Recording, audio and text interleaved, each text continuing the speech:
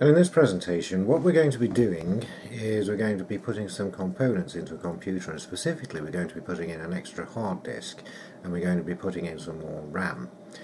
So let's get to the sub subject of hard disks first. Now they come in a variety of formats and uh, if we look at a few I've got here behind the camera what I've got here is a Maxtor hard disk. I'm going to point it on the desk, point the camera down so that we can see it a bit more clearly. Not a very good cameraman and I'm sorry about this, it may be very jerky. So, this works on USB.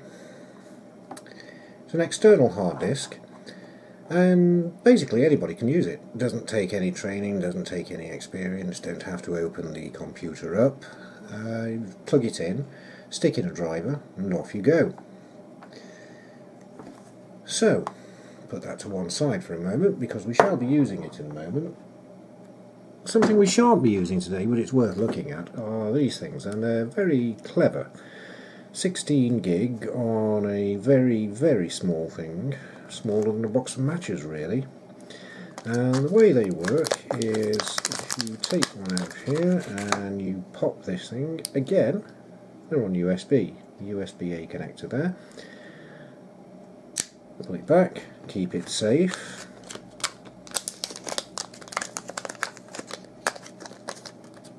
Another example we've got here is an optical hard drive. And if we look inside the box, again you can see it's an external thing, and there's the hard drive itself. And if you look, you'll see that it works on a USB-B port there, and it has its own power supply there. The leads show that one is for data, USB-A to USB-B,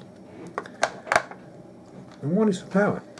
It derives its power from the USB port as well, so you need two USB ports to work this thing. Now the reason for having this is that some modern laptops do not come these days with an optical drive. And if we need to get something off a disk and onto the laptop, there's no way to do it other than using this thing. So it's a handy little thing to have around, but again, we're not going to be using it today. What we are going to be using is what we're going to look at next. This thing. WD Western Digital internal hard drive, 1 terabyte. It's quite a large disk, by today's standards it's not that large, 4 terabytes is not uncommon, but it's, uh, it's really a step up from what we had a few years ago. So, let's put it to one side for a moment, because we're not going to install it just yet. We've got things to do before we do that. When we're installing the disk, we're also going to be installing this. There are only two kinds of uh, of RAM that I will use and one is Corsair and the other one is Kingston. Now this is a 4 gigabyte stick and it's really not worth putting more than 4 gigabytes into the machine we're going to look at because it's only a 32-bit system. If we put more than 4 gigabytes in it won't be able to use it. So let's turn the camera around and let's have a look at the machine. Again, I'm not a very good cameraman and this is going to be a bit jerky. Sorry about this. Okay, so here's the machine. Let's bring it back a bit so we can see what's going on. And I like to call this machine Challenger. And there are a number of reasons for this. First of all, it gave me quite a few challenges when it first turned up. And secondly, in its general build construction, it does remind me a little of a tank. So, Let's have a look and see what it's doing. Turn the camera around again so we can see the screen. I'm not quite sure how clear this will be with the resolution of the camera I'm using. zoom in a little bit. I don't think you'll be able to see the icons on the desktop very well. I'll point them out. Up here, we've got Microsoft Office, Word, Publisher, PowerPoint, Excel and Access. Here we've got a calculator and here we've got a folder of my own called interfaces and it's where I put things I make. So it might be made in Visual Basic or C or even Excel VBA here we've got my creative tools Inkscape, Real World Paint and Movie Maker. Here we've got my virtual boxes Oracle VM here we've got a shortcut to Visual Basic um, Mozilla Firefox and two more folders of my own. Dump bin, which is where I keep everything I want to keep. It's usually PDFs to do with electronics or something to do with IT. And film, which is where I keep all the films I made and where this one will end up eventually. And then we've got the system ones, recycle bin, control panel and computer. And of course Kaspersky, which is my security uh, utility of choice. So, what we want to do first is we want to see what this computer has got in it. So, we're going for Info 32.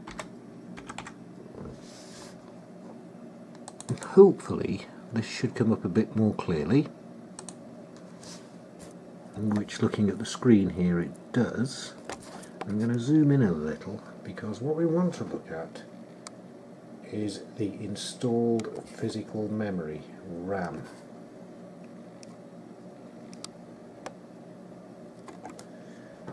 Now as you'll see there, there are currently 2 gigabytes of RAM in there and we're going to put that 4 gigabyte stick in. So we'll effectively double the random access memory we've got which is good. Let's come out a bit. Because the next thing we're going to look at is we're going to look at the disk manager.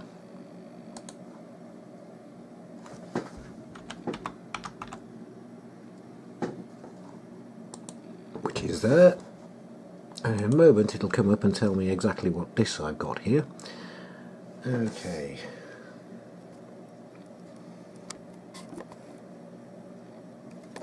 So it's telling me I've got disk 0. Now disk 0 here is the hard disk that's currently installed in my machine. And as you can see, the system reserve portion there and disk C. I've also got a CD-ROM drive now, what I'm going to do, if you remember this little Maxtor disk, probably can't see it, let's get some light on the subject. If you remember this little Maxtor hard disk, I'm going to plug it into the USB port, and hopefully this manager should pick it up. Let's see what happens.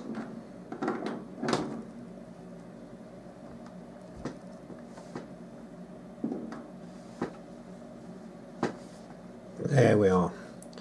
This manager has picked it up and if I look here in computer it won't appear and the reason it won't appear is because it's not been formatted. That black line over the top there tells me that nothing has been allocated to this disk so what we're going to have to do is we're going to have to format it to format it as a new simple volume and up comes the wizard and I'll just move the camera so we can see the wizard and what it's doing. There we are. If I click next, tells me I've got nearly a terabyte in there. Ask me what the minimum disk space is and ask me what the simple volume size is and I'm going to tell it one terabyte. It'll just uh, make one huge honking partition. I'm going to assign it the drive letter Z. Okay, next. The file system comes up by default as NTFS. We can also have uh, exFAT. We don't want that. And the allocation unit size is the default. The volume label is going to be called backup because what we're going to do is we're going to back up everything that's currently on the C disk and everything that's in the Windows system. So here we go. And then it tells me what I've chosen. I'll just check it to make sure. Yeah that's fine. So finish. And now it'll start to format my external hard disk. It'll take a wee while but eventually it will come up with something.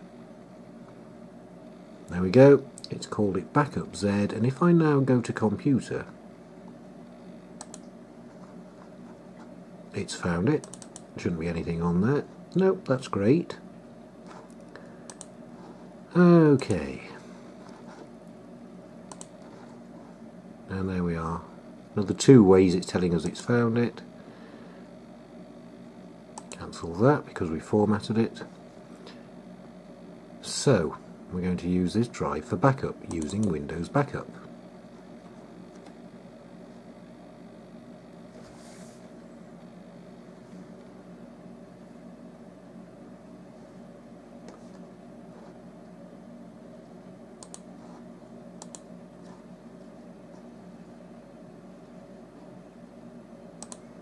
So we can tell it to back up data files, my libraries and the local disk C and include a system image of drives. Oh, I can't quite see that problem. Let me turn the camera around.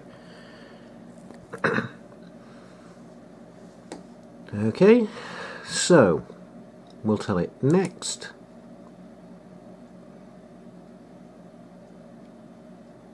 And we'll go save settings and run backup.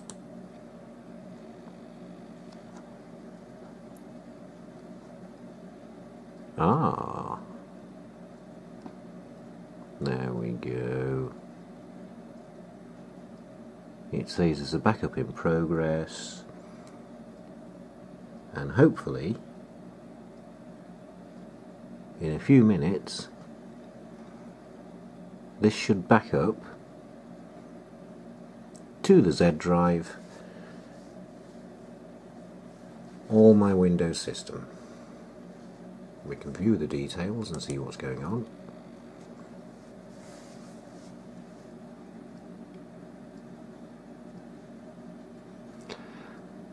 And now this will take a few minutes and so what we'll do is we'll come back to it later and I'll pause it at this point when it's 3% complete and we'll come back when it's finished. So we're rejoining it as the backup gets to 100% complete. And there we go, Windows backup is completed successfully, it's finished. So, we can close that, and if we have a look at Drive Z now,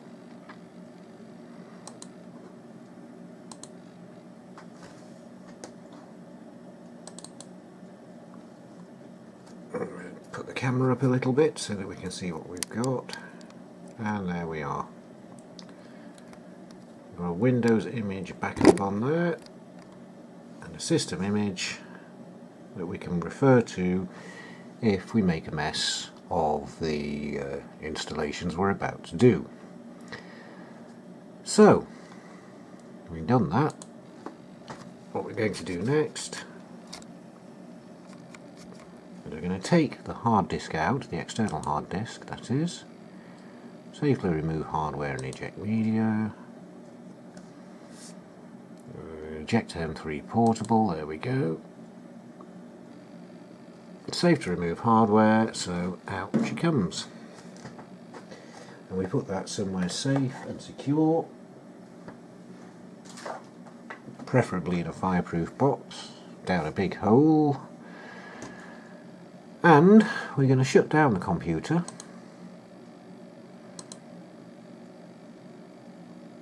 And then we're going to start taking things to bits. Now then,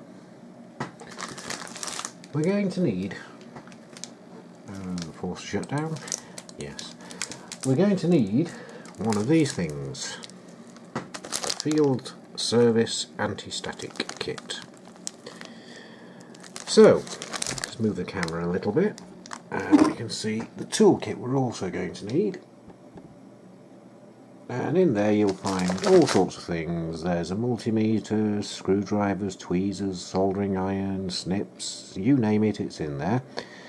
We're not going to need all of that. What we are going to need is a great big screwdriver because we're going to take the side panels off. So I'm going to point the camera at the uh, tank and let's see what we can do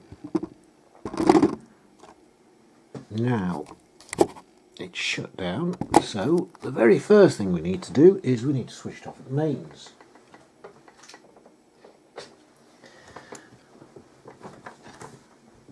Having done that, we're going to go around the back and we're going to pull the mains plug out. So let's uh, do this.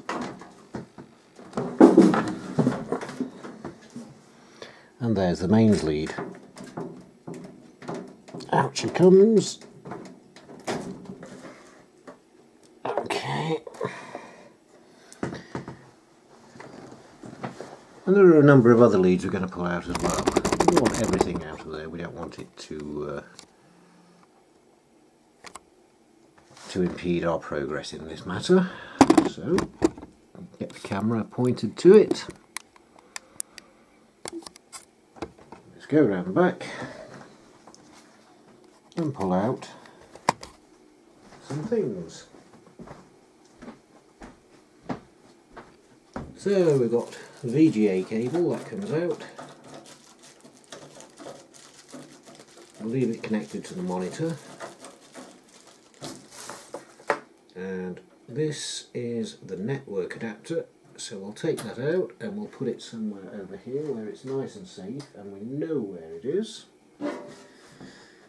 We've got the USB cables for the mouse and the keyboard. And that's it. Our computer is now completely standalone and we can start taking the panels off. And what we need to do is we need to get this big screwdriver and we'll take the panels off like this. There are four screws in these panels. So here's number one. And I always find it's helpful if you're taking screws out to get a tub. Put the screws in there. So when you come to get them back later you'll know where they are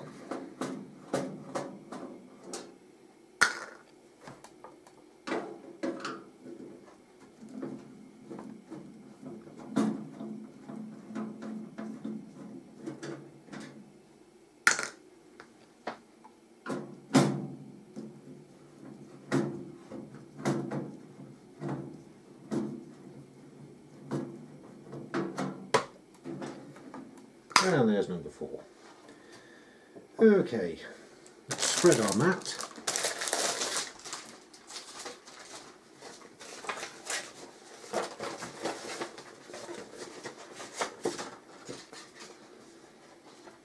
This mat's got an earth point on it. There. Another one on the other side.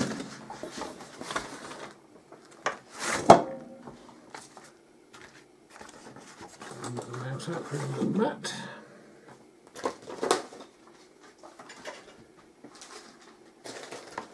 And this is an earth bonding lead.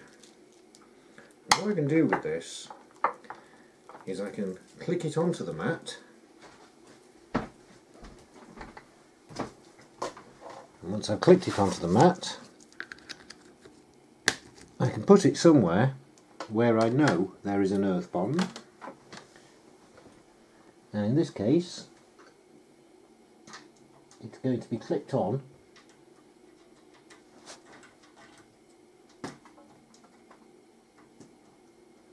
Well, to a radiator which I know has got an earth bond because I can see an earth wire running from it. I'll need to insulate myself as well. And the way I'm going to do this is I'm going to wear an earth strap, an anti-static strap whatever you like to call it.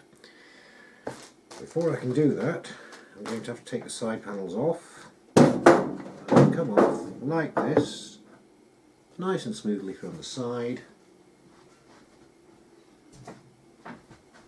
and again,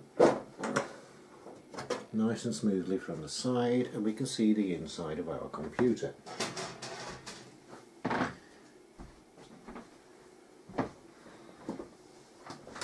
so. Putting on my strap.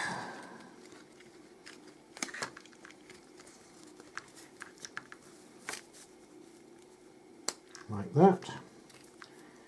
I'm going to click it to the back end of the computer. Having done that, I'm going to move the computer onto the anti-static mat. Let's shine a light on matters here and see what we've got. Do I need to move the camera around a little bit? Uh, I don't think I do. Let's just uh, zoom out a little. Okay, so you can see here, if we look closely enough and find something non-conductive to point with, such as this, what we can see here is a RAM chip. And that's the 2 gigabyte RAM chip. And I am going to take that out. That's the easy job, although it is quite fiddly.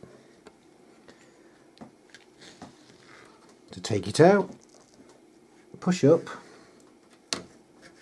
on the catch there, and I gently get the corner and the other corner exerting minimal force take out the RAM and the big thing here is to be careful to touch it only on the edges and not get my fingers on the actual circuit board. And put the old RAM on the anti-static mat and I'm going to grab the new RAM. Now new RAM, same thing. DDR3 RAM has a notch. We can see the notch there. On the slot, get a bit more light on the subject, on the slot we'll see a key that matches the notch. And the trick is to put them in the right way round so that the key and the notch line up. This is where it gets fiddly. So, in we go. I can move the loom a little bit. Put that in there like that, and that in there like that so they line up.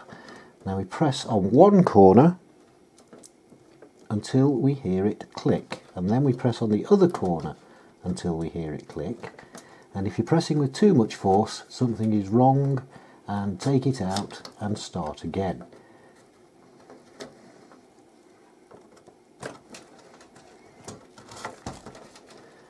That looks good.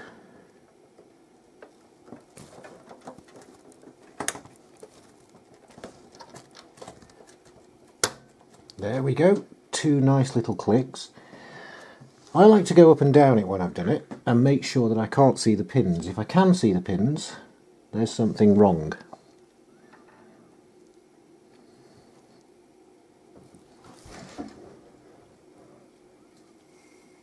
And I can't see the pins on that one, so I'm going to assume everything's right. Now, we've done the RAM, so we're going to take the old RAM and we're going to put it back in there and we're going to keep it somewhere nice and safe. It's always good to have a spare stick of RAM around in case something breaks. And then we're going to get to this so let's unbox it and see what we get. Now, in here I get the drive itself,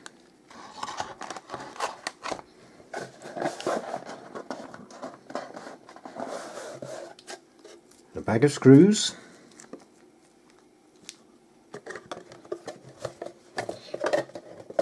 and I also get some paperwork. That's not important, it's basically a warranty and an installation guide, but we know how to install them. So, here's what we need to do first. going to move the camera so we can see this uh, this little metal piece here. If you look quite carefully, you may be able to see here that there is already a disc and that's the disc we looked at before. That's my primary disc, disc C. We're going to put this new disc underneath it but to do it we need to find a SATA power connector and it just so happens that there is a spare one here. How lucky is that? This computer has three SATA power connectors built into it. Another thing we're going to need is a signal cable or data cable. Before we do any of that, we've got to install it. So what we need to do now then is we need to actually install the new hard disk and uh, it's going here. Now we've got a bit of a problem with this machine because on some machines we have a nice pull-out sled. The disc drops into the sled and you push the sled back in and it all fits in nice and uh, hunky-dory and you don't need to bother screwing anything you know? it all goes in on clips some machines have a rotating table and you pull it out like that and you fit the disc in from the front and push it back and just clip everything together this machine doesn't this machine has a couple of little clips on there that don't move so you physically got to angle the drive as you're pushing it in, get it onto the cradle and then screw it in. It's a very fiddly job this one. And so we'll take the disc out of the bag.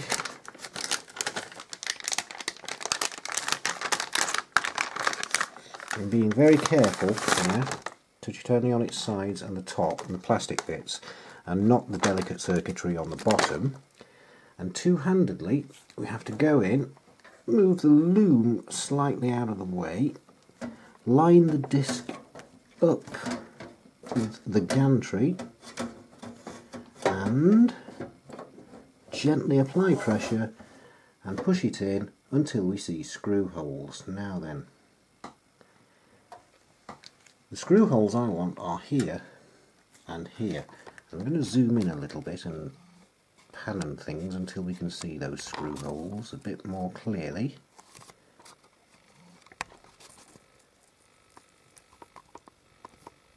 And I don't know if you can see them very well, but there are two threads on there. And basically we're going to take two of our screws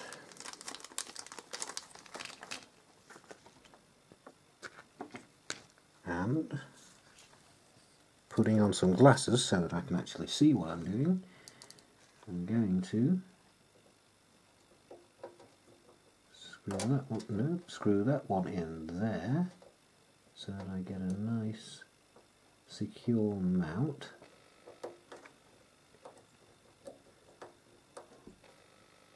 Another important thing is not to screw them in too tightly.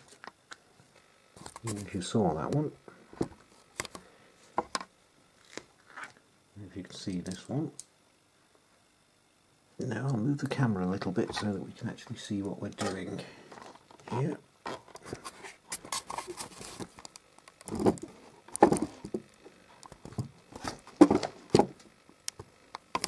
That's better. So, in she goes. Nice angle. Move to a more convenient angle so I can actually get straight onto that screw. There we are. And the important thing here is not to tighten them up. As the screwdriver meets resistance and you can't turn it anymore without applying severe pressure, that's the point to stop. And there are two on the other side, and we shall need to turn the machine around so that we can get to them. A little more.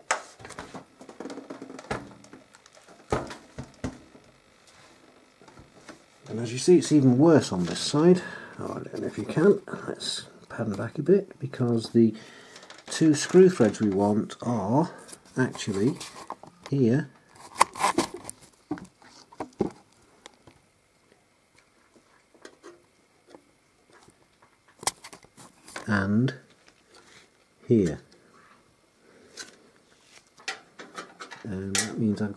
Hand in there very, very trickily. At a very tricky angle. And apply that screw in straight like that. And keep turning until the screwdriver can't turn anymore.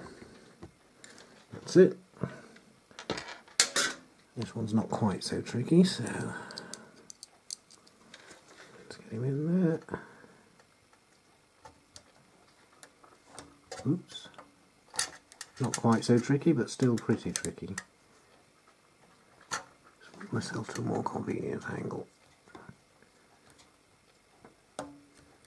There we are.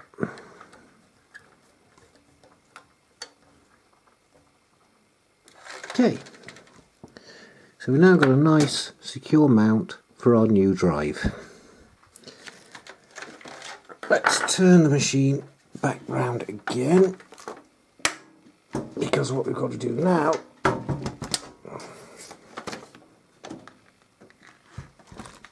is connect up the cables. So, bring the camera back so we can see what we're doing here. Now let's shine it onto the drive itself and we're going here and we're going here. And what we're going to do is we're going to take this SATA power cable and we're going to put it onto the power connector for the hard disk.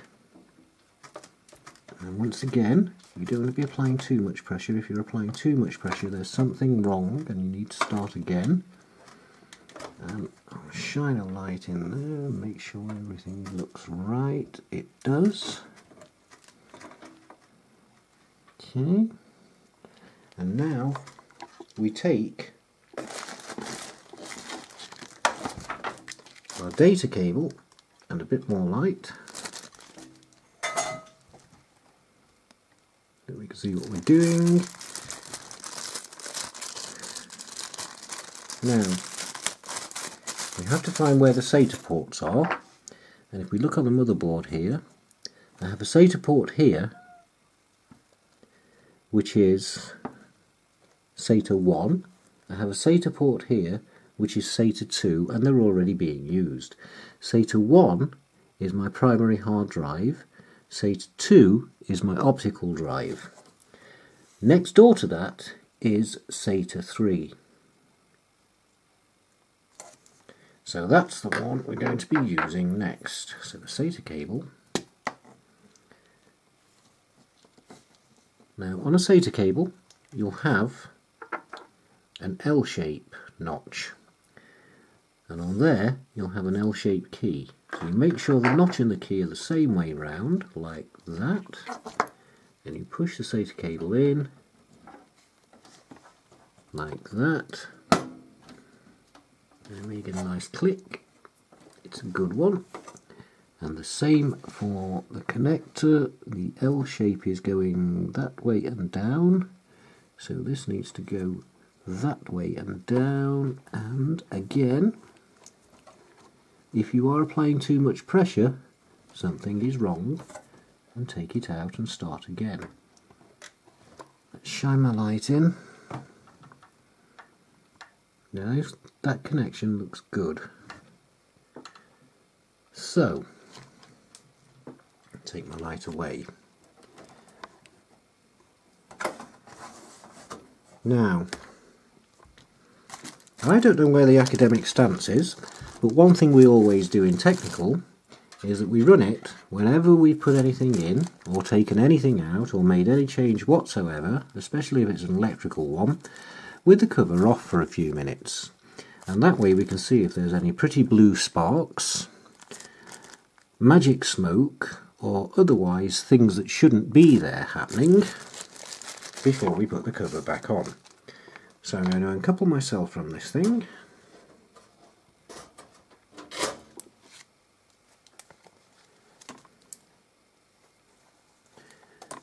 Going to move it back into its proper position like this.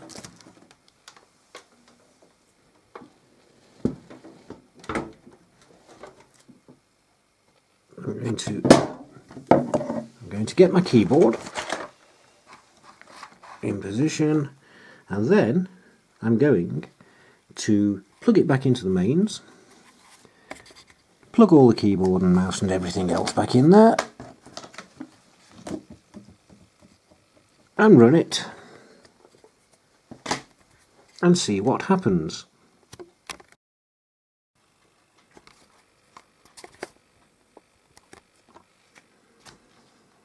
Right then, so everything's plugged back in and we're running with the cover off.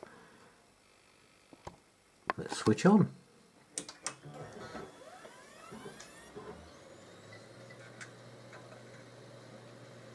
Well, we're looking good so far. It's past its post. And that's a good sign that the RAM is working, so we'll check things.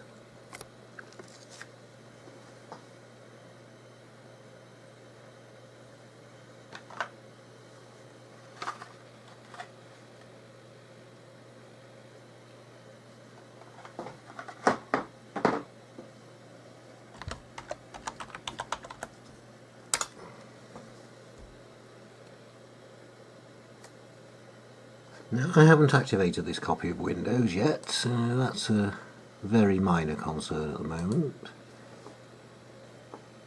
It will work. Let's zoom in on the screen a little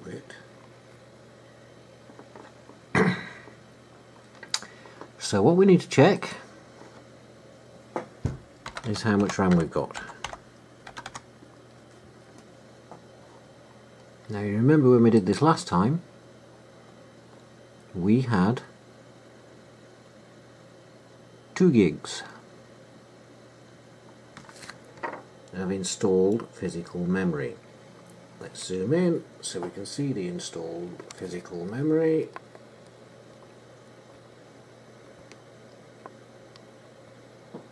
And that's saying 4 to me.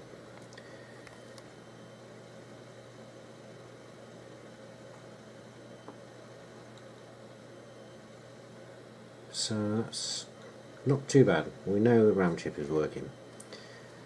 Now then, let's have a look at the disk and see if we can see that.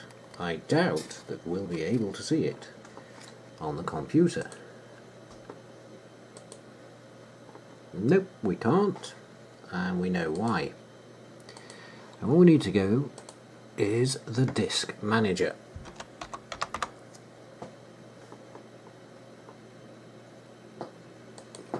Let's see if it'll find it there.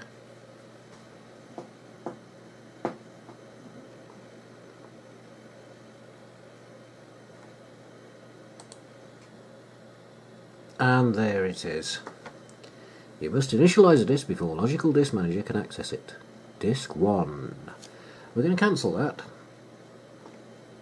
I'll zoom in first so we can actually see what it says.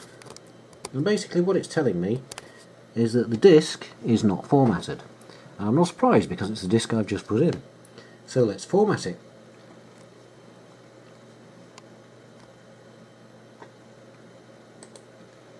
And how we do that is we go here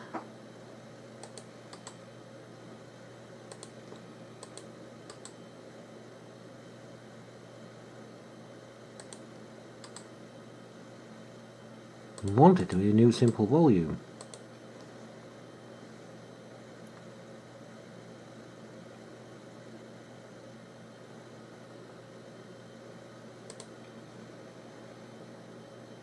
That's better. Now we've got unallocated there. So we'll call it a new simple volume.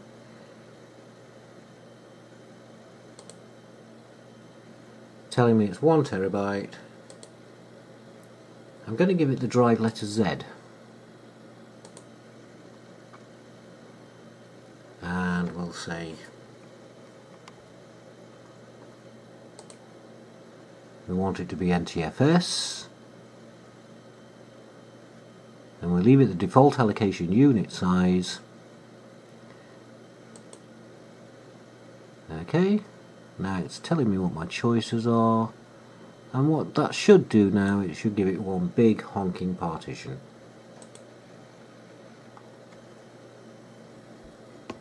Formatting. New volume Z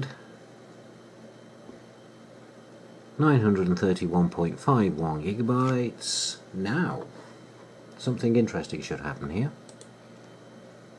New volume Z. Open folder to view files, shouldn't be anything on there. There isn't. And there we are. New volume Z. And that means that the disk installation has been successful and the RAM installation has been successful the job is done and we can sneak off and have a Mr. Players once we've closed the computer up and in closing the computer up we make a quick check and the quick check is are there any blue sparks? Nope. Is there any magic smoke? Nope. And can we smell burning? Nope. Now what I could do with is taking this wiring loom and making it a bit tidier. But it's not going to get in the way of anything at the moment, so I'm going to leave that for another time when I've got a bit more time to do it. There's nothing exposed there, there's nothing going to cause a short circuit. So yeah, it's scruffy but I'm going to leave it there for a bit. Uh, get some cable ties and go around and tie everything up. And really, what we can say now is that the job is entirely done. So what have we done? We've doubled the RAM. We've put a new 1 terabyte hard disk in. And what we now have to do is put some more software on. And that's going to be the subject of the next video.